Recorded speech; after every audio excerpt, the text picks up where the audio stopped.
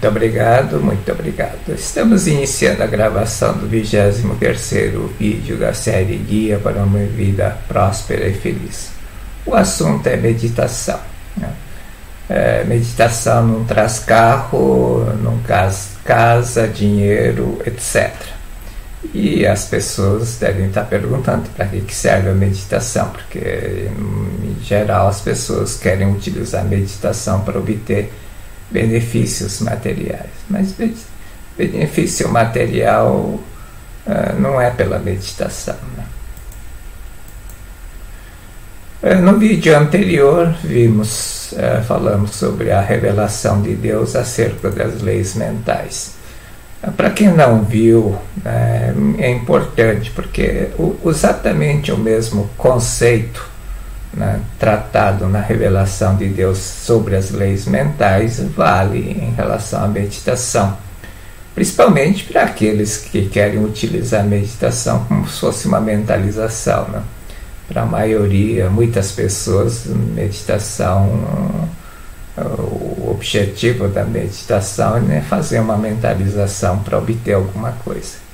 E aí a regra que vale é essa revelação de Deus na verdade não está fazendo meditação, está né? Tá querendo usar as leis mentais para é, fazer manifestar alguma coisa. Meditação é, é bem diferente, é adquirir a consciência plena do eu, né? eu, filho de Deus. É muito diferente de mentalizar. A nossa vida é comparável ao processo de tecer um tecido. Né? Para tecer um tecido precisa ter o tear, tear é composto de urdidura, as linhas verticais e o trama, que são, conduzem as linhas horizontais e fazem, né, tecem o tecido. O tecido é resultado da união da linha vertical e das linhas horizontais, e aí faz o desenho. Né? Você está guiado pelas linhas verticais. Se não tivesse as linhas verticais que guiam né, as linhas horizontais, não sairia desenho uniforme. Se estiver firmemente amparado pelas linhas verticais da urdidura, o resultado será um tecido bonito, bem acabado. A meditação em si não é, não é um tear, né? A meditação não tece o tecido. Seria vamos dizer, seria o, a urdidura, é a linha vertical que guia o tramo. As nossas decisões são as linhas horizontais né, que tecem o tecido da vida. Né? É por meio do pensamento, é, tomamos decisões, agimos e fazemos as coisas acontecerem na nossa vida. Por isso que tem que, ter, tem que ser guiado pela linha vertical, né? como se fosse a, a, tem que ter a linha vertical da urdidura como se fosse um tecido. As decisões e ações que tomamos devem ser guiadas pelas linhas mestras da vida, né? que é Deus, amor, vida e sabedoria. Quando você estiver amparado pelas linhas né, mestras da vida, você não vai fazer besteira. Tá? Nós tomamos, fazemos besteira quando tomamos decisões baseadas no nosso ego, né? no eu. Eu quero, eu quero que seja assim, que preciso que seja assim, quero que aconteça desse jeito, quero ganhar muito, né? E assim por diante, só no eu. E aí fazemos besteira. A ganância é, é o grande inimigo do homem. Meditação Shinsokan é a urdidura as linhas, guia, as linhas guias da nossa vida. A meditação não tece o tecido, né? isto é, não traz carro, casa, dinheiro ou sucesso. E as pessoas devem estar perguntando, né? Para que, que serve? E o mindfulness, né? Muitas pessoas praticam mindfulness. Mindfulness é, é uma técnica desenvolvida por é, Dr. John Kabat-Zinn. É, foi em 1979 que ele criou uma metodologia chamada MBSR, Mindful Based é, Stress Reduction. Né? É uma metodologia desenvolvida para tratamento de pessoas, de eliminar o estresse das pessoas. E baseou na, na, na meditação, nas né? técnicas da meditação orientais. É, o mindfulness é traduzido como consciência plena, né? mas mindfulness não chega na consciência plena. Tá? A meditação sim chega na consciência plena do eu, filho de Deus, eu, ser espiritual. O mindfulness é. Na verdade, quem pratica meditação pratica mindfulness, né? porque desenvolve essa parte de percepção. Você é, desenvolve essa parte criativa de ver as coisas com os, os outros olhos. Né? Quando tudo dá errado, você não vê o errado, tenta ver o certo. É isso que o, a prática do mindfulness desenvolve nas pessoas. É bastante positivo, tá? vale a pena. Só não confundir as coisas. Mindfulness é mindfulness, meditação é meditação. É, ela desenvolve essa parte da criatividade. Tem um exemplo que uma, uma, uma doutora, eu esqueço, esqueço, o nome dela, mas ela cita no livro dela, né? Uh, caso da 3M do post-it. O post 3M, na verdade, teria um, seria, teve um grande fracasso. Né? Na verdade, estava querendo desenvolver uma cola e criou uma cola que não colava, né? Quer dizer, uma cola que tinha duração temporária. E aí, mas eu viu pelo outro lado, né? Mas isso é bom, né?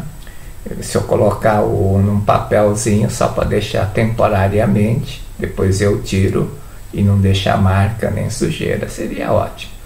Foi invenção do post-it. Né?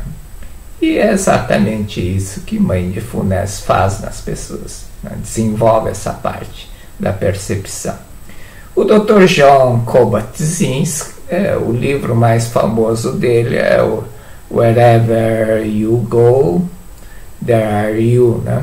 onde você estiver, lá estará você. Né, esse é, esse é o Mindfulness. O meditação é Wherever You Go, God is with me. Né? Uh, wherever I go, God is with me. Onde eu estiver, onde eu estiver, onde eu for, onde eu estiver, Deus está comigo. Ou seja, Deus está sempre comigo. É essa consciência que você vai desenvolver com a meditação.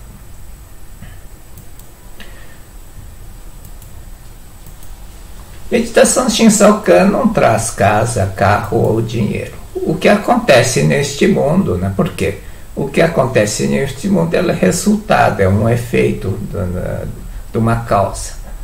Ah, é como produzir uma fruta. A fruta é resultado de uma semente que você plantou. Primeira coisa, tem que ter semente.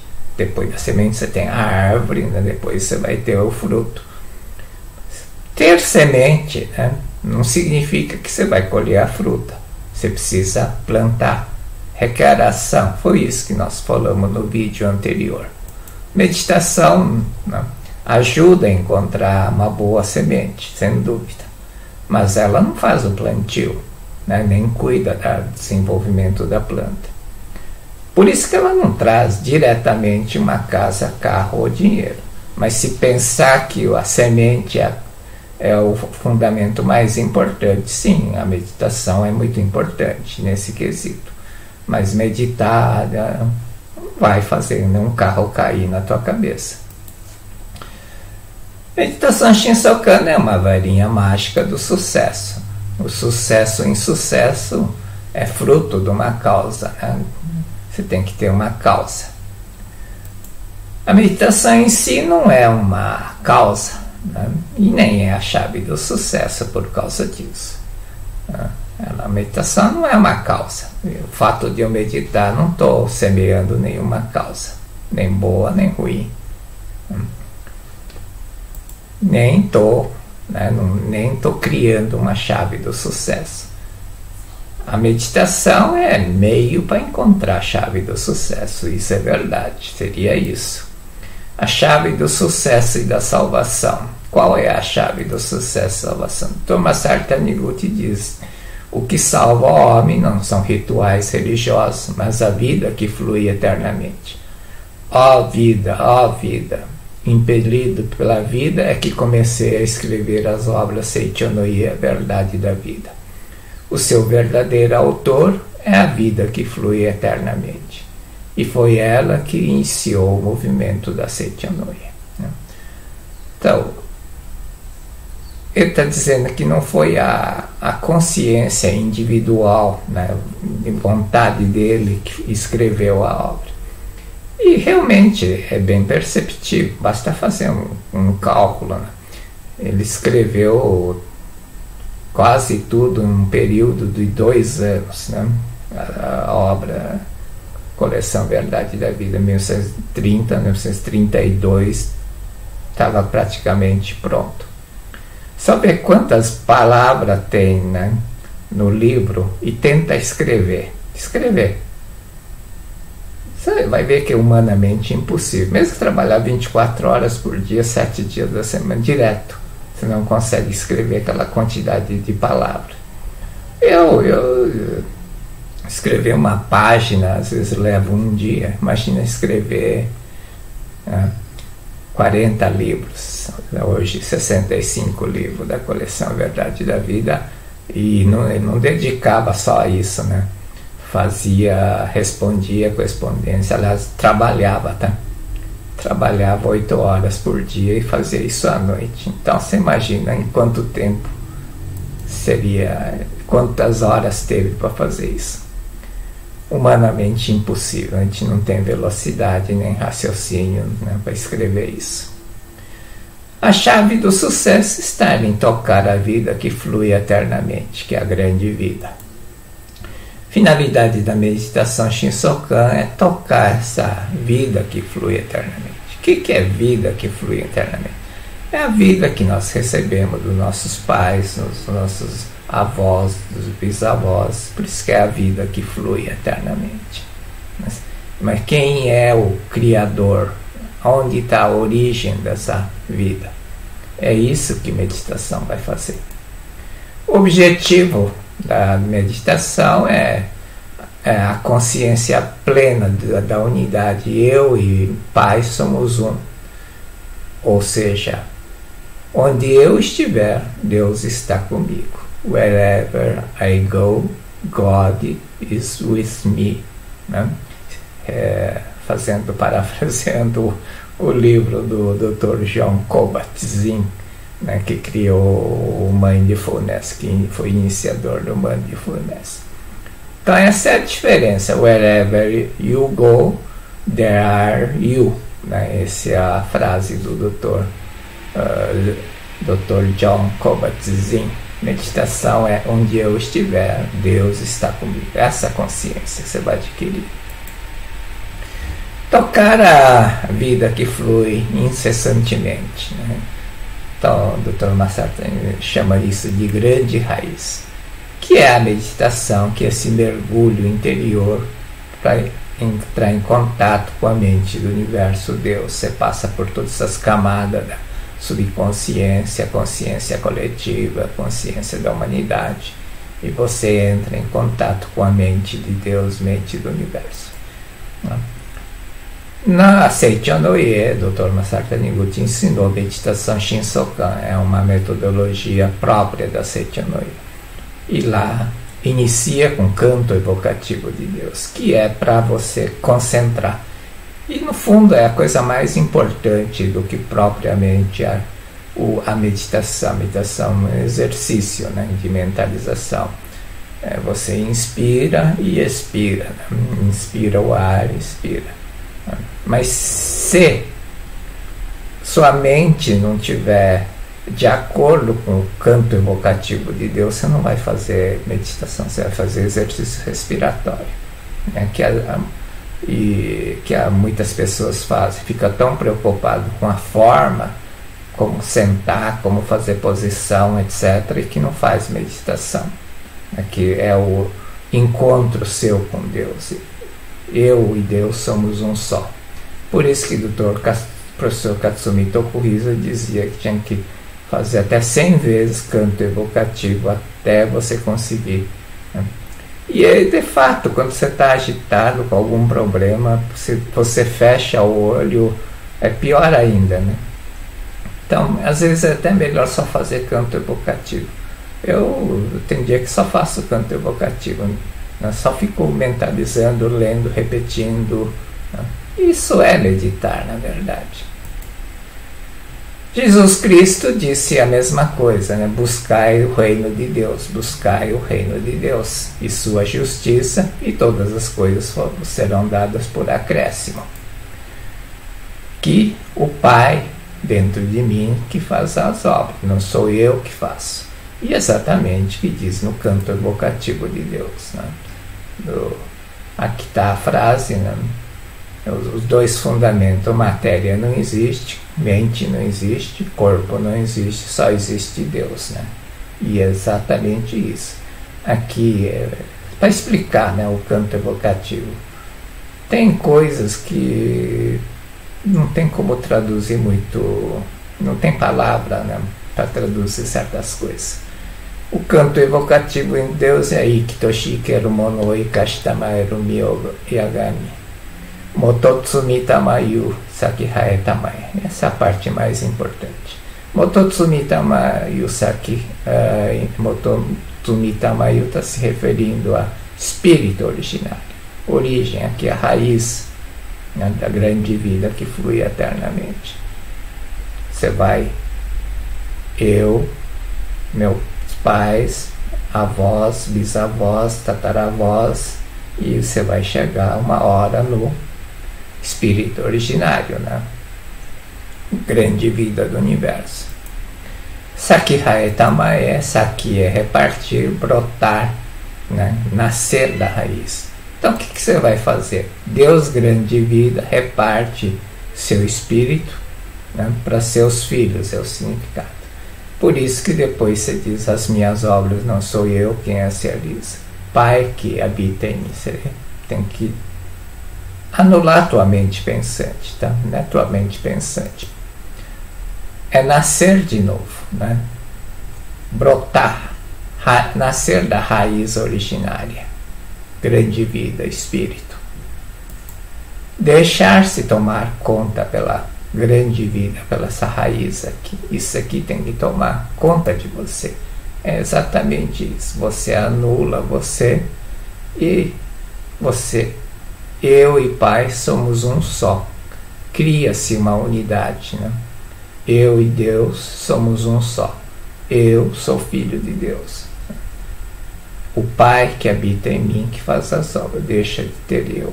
E essa consciência plena é que faz as coisas acontecerem na vida. As pessoas dizem que recebeu a graça divina. A graça divina, na verdade, não é que seja a graça divina, né?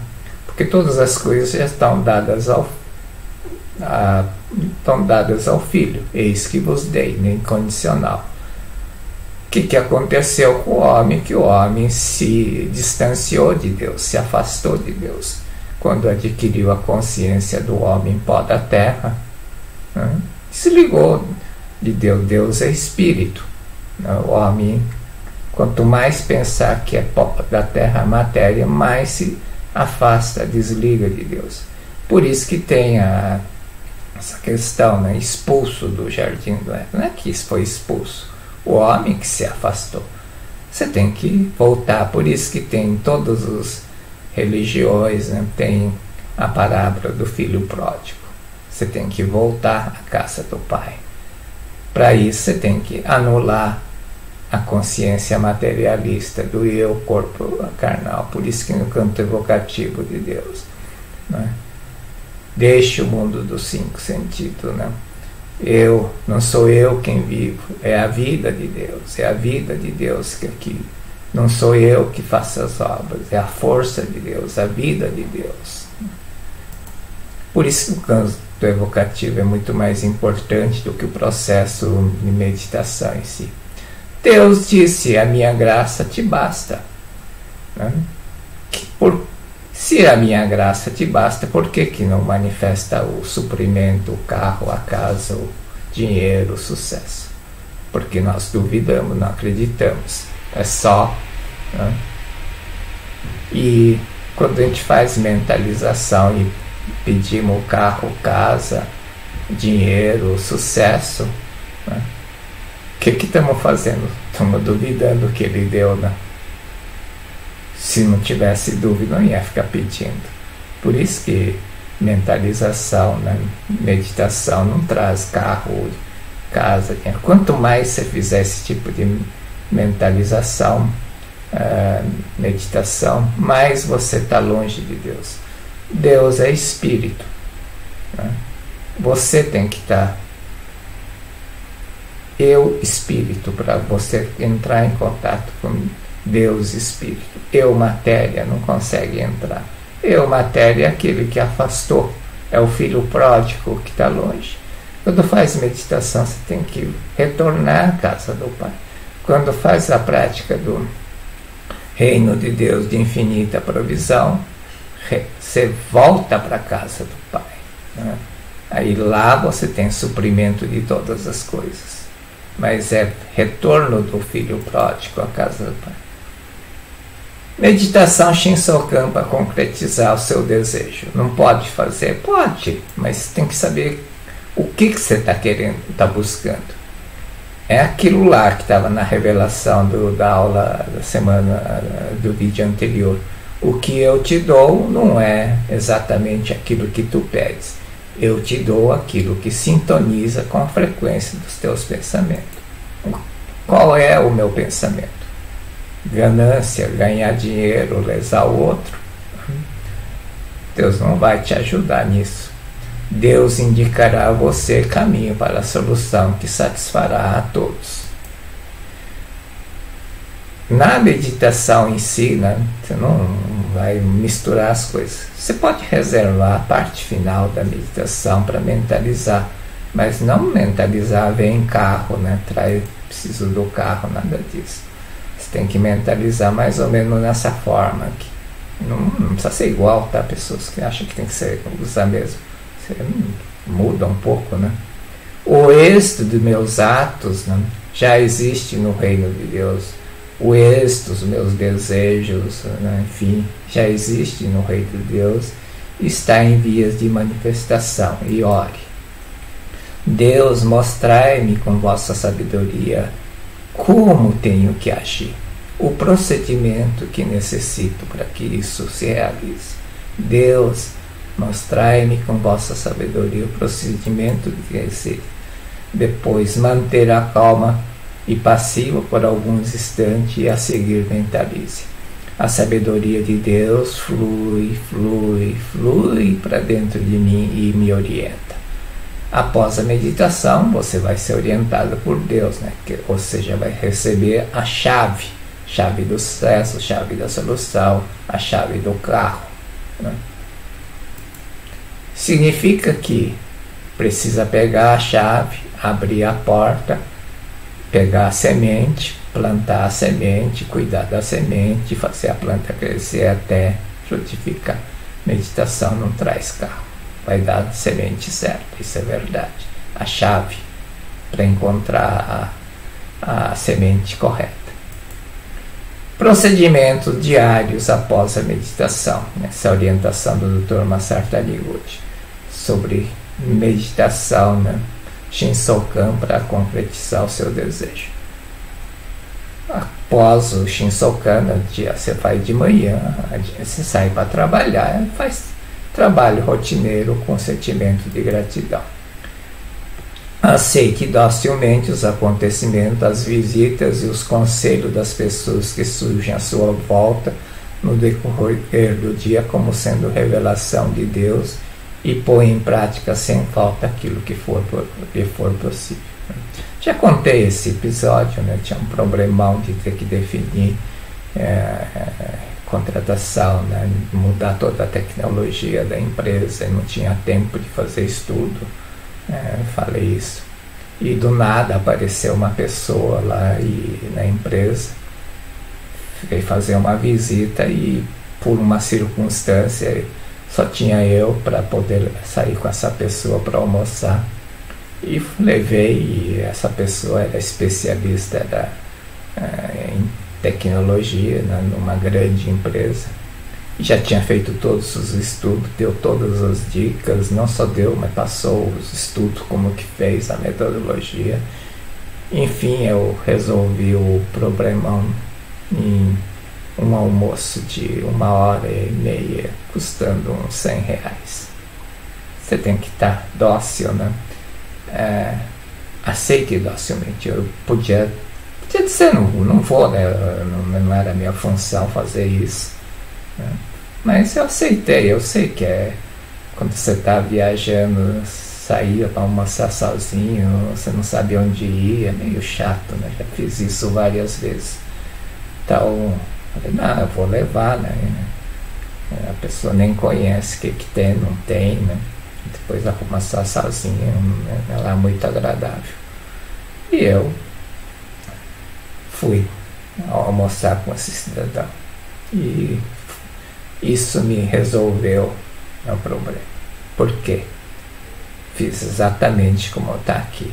Deus mostrai-me né, o caminho, né, o procedimento, como devo fazer. E isso não aconteceu só aquela vez, várias vezes. Uma vez eu estava com um problema, uma pessoa que nunca vem visitar de, do nada veio, que tem unidade separada da empresa, pessoa que trabalha numa outra unidade, apareceu e sem que eu perguntasse, a pessoa disse a resposta da coisa que eu precisava. Pode não acreditar, mas é assim, estava sentado na mesa, a pessoa entrou, bom dia, lá, tudo bem, blá, blá. do nada começou a falar, né? ah, você tem isso, tem que fazer assim, né? eu fiquei assim que nem boca aberta, né? Olhando, né? Mas por que, que essa pessoa está falando isso? Estava né? dando as respostas que eu precisava. Você não deve ter dúvidas, né? Hesitação ou temor quando receber isso, tá? Ah, se você for para duvidar, questionar, né? É, pior coisa é pedir um conselho para alguém, né? ou alguém pedir conselho para você e a pessoa não, não, não, não utilizar, né? É, é, eu não sou tão santo, né? Posso até primeira, segunda vez responder, uma terceira vez eu mando para o inferno, né? Ah, fazendo perder meu tempo. Eu não vou ficar dando conselho a pessoa que não quer seguir conselho, né? Para que, que vem perguntar então, né? Eu, eu creio que Deus seja a mesma coisa. Né? É, não vai ficar respondendo a você. É, se você pergunta, ele responde, você não, não duvida da resposta, não segue. Embora ele vai cansar e falar, ah, não vou mais responder esse cara. É isso que acontece. Meditação é adquirir a consciência plena. Onde, é, onde quer que eu vá, Deus está comigo. Não importa a situação, hora, lugar, momento, país, não importa. Onde quer que eu vá, Deus está comigo. E vai dar a solução exata. Muito obrigado.